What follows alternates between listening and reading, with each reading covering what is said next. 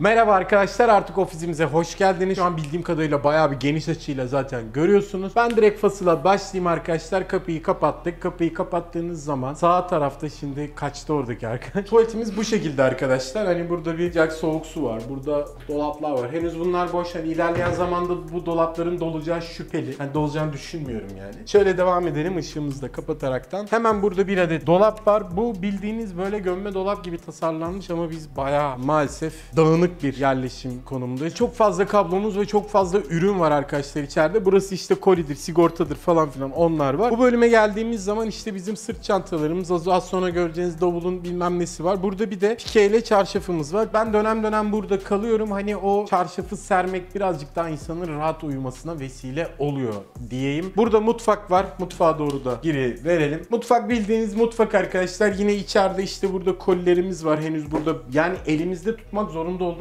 koliler garantiden bilmem neden ötürü. Mutfak dolapları boş hiç o fasla girmeyeceğim. Çay makinemiz Grundig eğer merak ediyorsanız. Şunu unutmamam lazım çünkü kendisini çok seviyorum. Burada bir adet akıllı elektrik süpürgemiz var arkadaşlar. Bunu alın diye söylemiyorum ama bence bu tarz böyle patır patır temizlenebilecek ortamlar için hayat kurtarıyor kendisi. Buraya geldiğiniz zaman yanımda bir adet çalışan arkadaşımız var. Adı Bekir. Birlikte çalışıyoruz kendisiyle. Onun masasını görüyoruz. Bu masa neden böyle? Arkadaşlar şu monitörü aha bu gördüğünüz süpürge bildiğiniz kablosuna takılıp aşağı düşürdü abi ve kırdı monitörü. Şu an ekranı onun piksel piksel. Elektrik var mı? Aynen bir takalım bunu. Ve bunu böyle bir hale getirdi. Bunun markası Samsung'tu. Onun üzerine ben evdeki LG widescreen'imi getirdim. Bir de burada hani burada çalışan arkadaşın kullandığı bir adet laptop var. Bu da Asus ki bunun incelemesi zaten kanalda var arkadaşlar. Şöyle devam edelim. Şimdi çok ciddi bir karmaşa göreceğiz. Bu karmaşanın nedenini de açıklayacağım. Şimdi bir kere bu bir stüdyo işi. Bu Godox. Bunda okeyiz. Burada bir adet Logitech'in araç simülasyon setimiz var. Bunu böyle yayınlarda vesaire simülasyon oyunlarında kullanıyorum. Ee, bir tane de Speed Stand Pro'su var. Speed Stand Pro'yu 140 liraya aldım. Zamanında hani üstündekini de ben aldığımda bütün set, direksiyon, test kutusu da dahil olmak üzere toplam 2500 liraya falan geldi. Şu an bildiğim kadarıyla bunların fiyatları uçtu diye biliyorum. Yanlış bilmiyorsam düzelttiniz beni ki ben aldığımda hepsi 2500 liraydı. Geldik ofisin salon kısmına arkadaşlar. Salon kısmımızda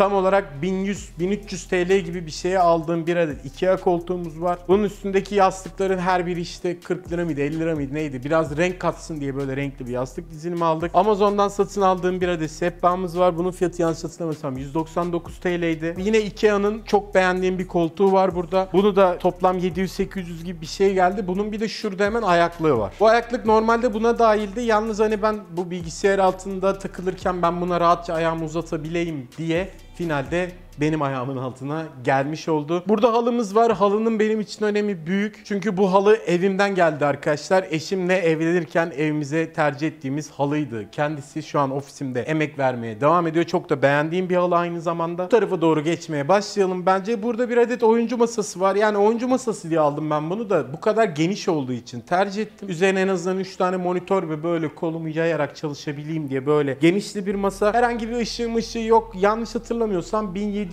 1900 TL gibi bir şey aldım. Arkada abi şöyle bir şey var. Monitörlerin işte böyle yönlerini değiştirebileceğim, dikey pozisyona getirebileceğim böyle bir aparat satın aldım. Bu biraz pahalıydı onu söyleyeyim. Yani tam hatırlamıyorum da 900 mü 600 mü öyle abuk subuk bir parası vardı onun. Niye aldığımı da bilmiyorum ama işime yaradı. Keza üçüncüsünü almadım. Bu arada monitörlerin hepsinin markası MSI bunu biliyorsunuz zaten. Bu sistemin incelemesi de var kanalda. Gidip onu da inceleyebilirsiniz. Şu hariç abi üçüncü monitör hariç diğerleri o aparata bağlı. Üçüncü monitör burada sabit. Ofisimizin koltukları da yine MSI'ın arkadaşlar. Mikrofon olarak burada bir adet Rode görüyoruz. Şimdi şöyle bir durum var. Her kullandığım ekipmanın ayrıntısını ayrı ayrı incelediğim bir video yapmayı planlıyorum. Yayında ve çekimde kullandığım ekipmanlar adı altında. Doğal olarak bunları orada konuşuruz diye düşünüyorum. Burası benim masam. Kasayı şuraya koydum. Bu kasayla ilgili abi şöyle bir üzüntüm var benim. Yani tek üzüntüm o. Esas meselesi bunun öteki tarafında. Yani ışıklar, patlamalar, ekran kartları, wow falan işte. Ama gel gör ki dizilimde duvar tarafına gitti. Kendisi yapacak bir şeyimiz yok. Hani burada bir tek kablolara takabilirsiniz. Buradaki kablolara bir düzenleme tabii ki de yapılabilir. Bunlar bir borulama sistemiyle tek parça haline getirilebilir. Ama arkadaşlar gelin görün ki bizim işte bir sıkıntı var. O sıkıntıda her şeyi her an herhangi bir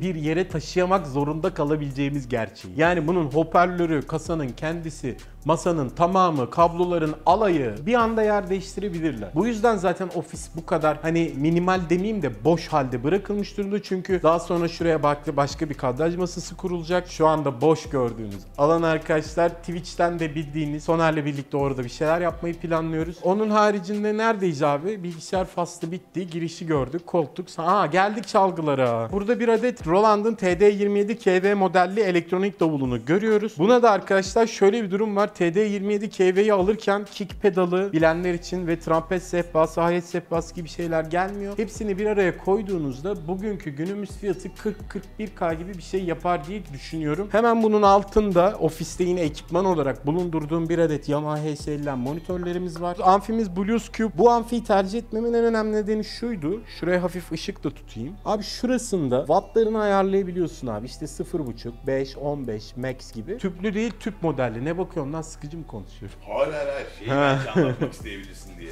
Neden abi sesini kısmıyorsun da batı kısıyorsun? Lambanın kırılımı için gerekli. Burada bir adet Fender Telecaster Amerikan görüyoruz. Gitarı ben aldığımda 32-33 yaşındaydım. Yani 2-3 yıldır. Ben de arkadaşlar şuradaki potansı çıkık şey benim oğlan onu bebekken alıp yutmasın diye öyle bir önlem aldık kendimizce. O evde kaldı. Onun haricinde standart bir Telecaster. Burada da bir adet el yapımı udumuz var. Bu da ailemin bana mezun olduğumda almış olduğu bir hediyedir. Camlar kapalı. Akşamki hali daha güzel bence. Burayı açtığımızda bir manzara görünüyor. Onu da Twitch yayınlarıma gelerek görebilirsiniz. Bu arada Twitch kanalım var. Genelde yani sıklıkla gece yayın yapıyorum. Gece gelindiğinde burası geniş olarak görünüyor. Tripodumuz Yi Yang.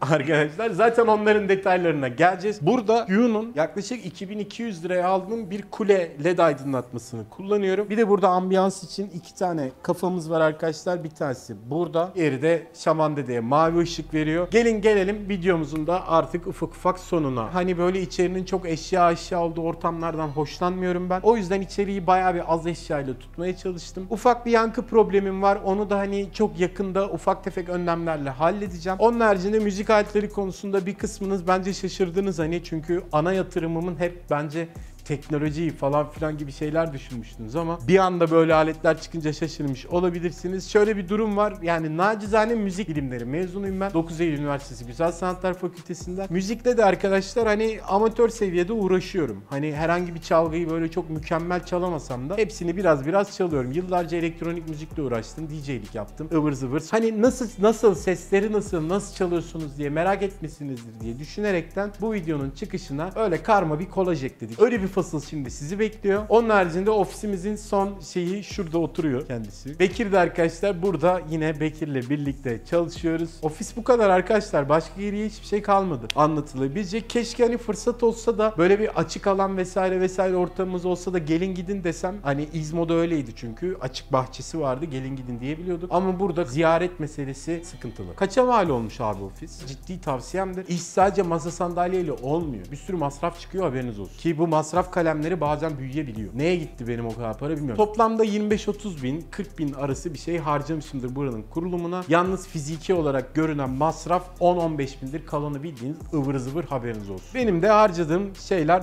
bunlar arkadaşlar. Öyle çok araba maraba merakım olsa da arabalara hani böyle fiyatlar çok abartı ya. Hani o paraları veremem abi ben arabaya arabaya 600 bin falan ver- veremem abi. Araba dediğin 150 bin olsun abi üst seviyesi yani. Hani düzgün bir araba binmek için onu alacağım ama ben de gidiyorum işte 20-30 bin liraya biriktiriyorum bir şekilde. Bunları alıveriyorum. Çok iyi müzisyen değiliz. Çalgıların, tınılarının iyi olmasını istiyoruz ki çalarken keyif alalım. Yani bütün derdimiz bu. Bu kadar. Bitti video. Artık müzik faslına geçelim. Ofisimizi hep birlikte ziyaret ettiğimiz için artık bugünün geldiği için ben bayağı mutluyum arkadaşlar. Sizlere de inşallah hayatınızda böyle bu tarz girişimlere start verebilecek enerjiniz, maddi gücünüz ve bir işte arka planınız olur diyorum. Umarım siz de hayatınızda böyle bir şeye start verebilirsiniz. Bir şey başardığım için söylemiyorum. Start vermekten bahsediyorum. Görüşürüz arkadaşlar. Size şimdi müzik videosunu aktarıyorum.